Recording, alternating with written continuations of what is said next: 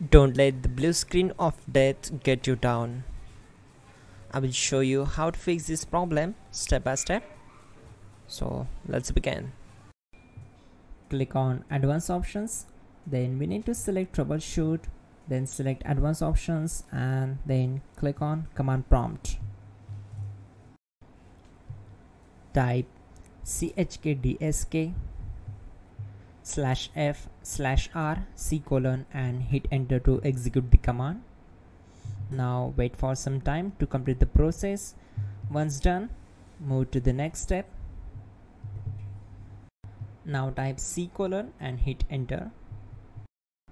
Then type cd space c colon slash and hit enter. Now type cd space windows and hit enter to execute the command then type cd space system32 and hit enter to execute the command. Type in cd space config and simply hit enter to execute the command. Now type md backup and simply hit enter.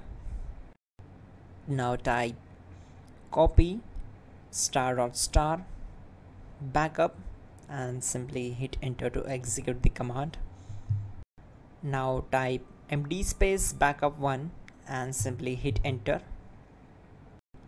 Now type copy star dot star backup1 and simply hit enter to execute the command. Type in cd space regback and hit enter to execute the command. Now type dir and then simply hit enter to execute the command. Now type copy space star dot star space dot dot and hit enter. Then type all and hit enter. Now type bootrec space slash fix mbr and simply hit enter.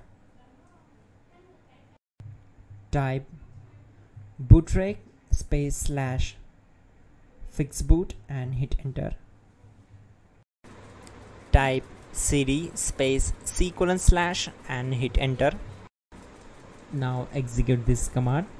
Type cd space windows slash system32 slash config slash regback then simply hit enter to execute this command.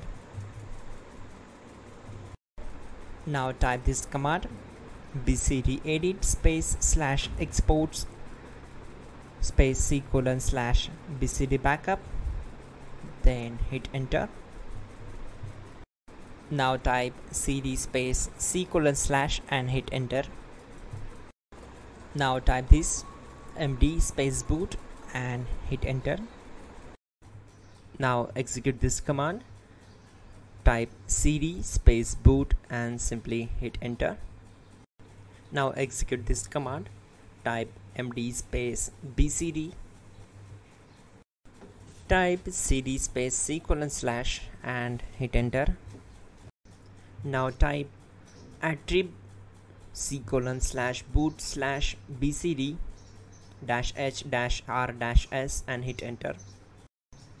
Type in ren c colon backslash boot backslash bcd bcd.old and simply hit enter to execute this command.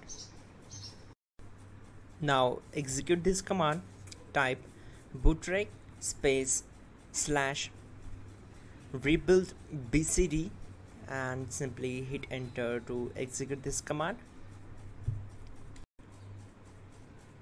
Type exit and hit enter